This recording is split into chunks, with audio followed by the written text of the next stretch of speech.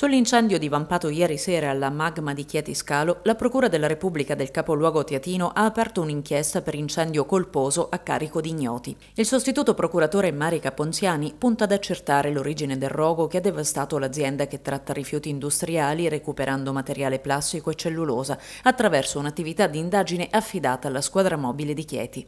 Al momento non è stata ancora formulata alcuna ipotesi sulle cause dell'incendio né si parla di matrice dolosa. Le fiamme alla magma sono divampate ieri sera un'ora prima della chiusura dell'attività, quando nei capannoni c'erano ancora due addetti che hanno cercato in un primo momento di spegnere con gli estintori il principio dell'incendio e hanno poi allertato i vigili del fuoco che giunti sul posto hanno lavorato ininterrottamente con diverse squadre e mezzi del comando di Chieti fino allo spegnimento definitivo delle fiamme. È stato proprio l'intervento tempestivo dei soccorritori a scongiurare che il fuoco si propagasse anche alle aziende vicine.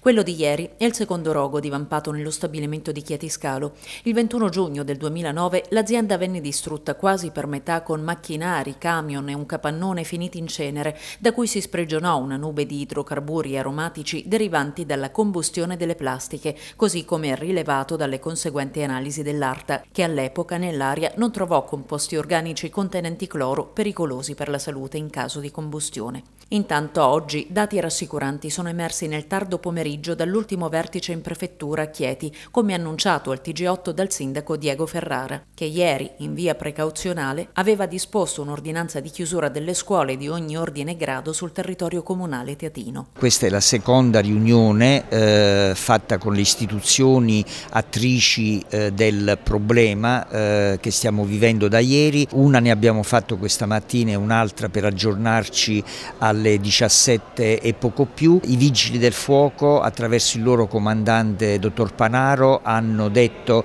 che l'incendio è stato completamente domato, spento, i fumi non ci sono più ma stanno ovviamente eh, facendo una movimentazione eh, locale della terra per, eh, un, per completare il lavoro eh, della bonifica, però è ovvio che questa opera di bonifica rimane confinata all'area dell'azienda, per cui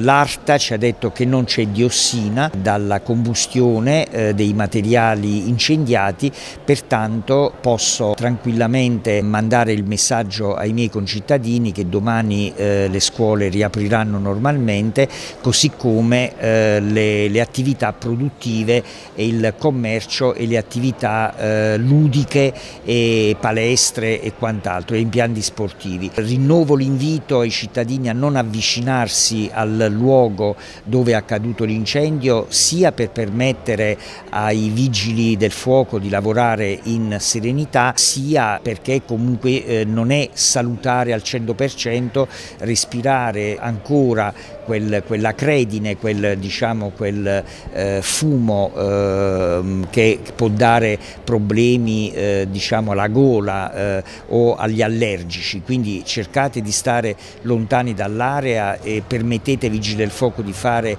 il loro lavoro. Ringraziando Dio eh, il pericolo eh, grosso è stato eh, scampato, speriamo che sul nostro territorio non accada più nulla eh, di così eh, eclatante. Scuole riaperte da domani anche a San Giovanni Tiatino, dove anche il sindaco Giorgio Di Clemente aveva optato per la chiusura precauzionale in considerazione della fitta nube di fumo che aveva investito il territorio comunale limitrofo al capoluogo Tiatino con il propagarsi dell'incendio. Ci siamo dati appuntamento alle 8.45 di domani mattina per avere i risultati eh, spero definitivi o comunque se non definitivi quasi completi eh, dell'ARTA e quindi per questo motivo farò un ulteriore comunicato sulla pagina Facebook del Comune, comunque l'importante è poter domani ritornare a una vita normale.